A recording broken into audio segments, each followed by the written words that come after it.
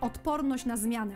Zmiana na odporność. To tytuł wystąpienia przedstawicieli PKN Orlen na 15. Kongresie ICV Polska. Barbara Hajdas, dyrektor wykonawczy do spraw kontrolingu biznesowego oraz Tomasz Supecki, dyrektor kontrolingu korporacyjnego, opowiedzą o roli kontrolingu w sytuacjach kryzysu oraz sytuacjach nadzwyczajnych. Pokażą, w jaki sposób kontroling wzmacnia odporność biznesową ich spółki. Pokażą sprawdzone narzędzia, które wspierają ich codzienną pracę. Zapraszamy na największe wydarzenie kontrolingowe tego roku. Do zobaczenia 11-12 października w Warszawie w hotelu Intercontinental oraz online. Zapisz się na kongres na stronie www.controllingintelligenceadventure.pl.